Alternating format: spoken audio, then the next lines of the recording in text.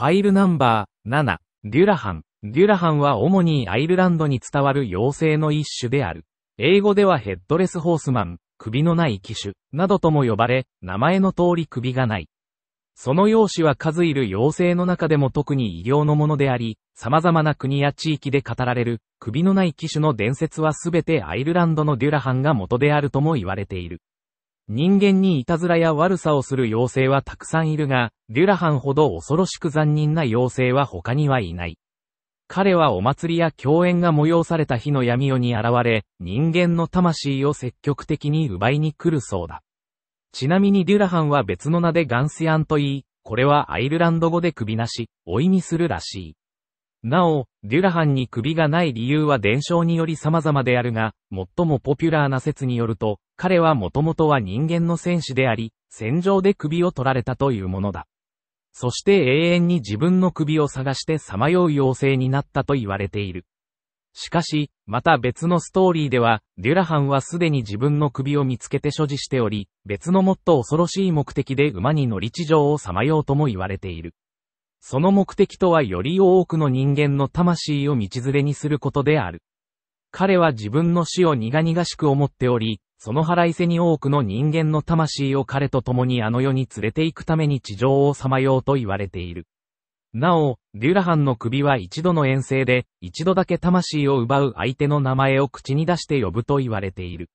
そして一度デュラハンに名前を呼ばれた者はその死が確定するらしく、逃れる術はないと言われている。見た目、特徴。容姿は伝承により様々であるが、一般的にデュラハンといえば、黒い馬または黒い馬車に乗った首なしの騎手として書かれる。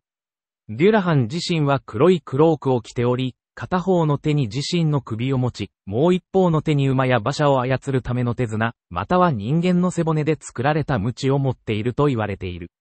デュラハンが馬車に乗っている場合、馬車は人間の皮や骨で装飾を施された恐ろしいものであることが多いが、これはデュラハンの恐ろしい目的を表しているという。ちなみにデュラハンが持っている首もまた、恐ろしい見た目をしているという。首は腐った皮膚で覆われ、匂いは腐ったチーズのようだと言われている。また、不気味な笑みを浮かべており、口は耳元まで裂けているそうだ。また、目は常に赤く光っているか、赤い炎をまとっており、常に次の被害者を探していると言われている。金とデュラハン。デュラハンが現れた村では、住人は皆怯えながら彼が自分の家の前をただ通り過ぎるのをカーテンの裏に隠れて祈るそうだ。この時、デュラハンの姿を直接見ると、無知で目を潰されたり、血の入ったたらいを投げつけられて目が見えなくなってしまうという。しかし、デュラハンを撃退する方法が一つだけあるらしく、それは金、ゴールドであるという。どういうわけかデュラハンは金を恐れており、彼の前に金を投げつけるとその場で立ち止まり、引き返していくそうだ。このことからデュラハンの伝説が最も盛んであった当時のアイルランドでは、彼から身を守るために金、ゴールドを所持するように言われていたらしい。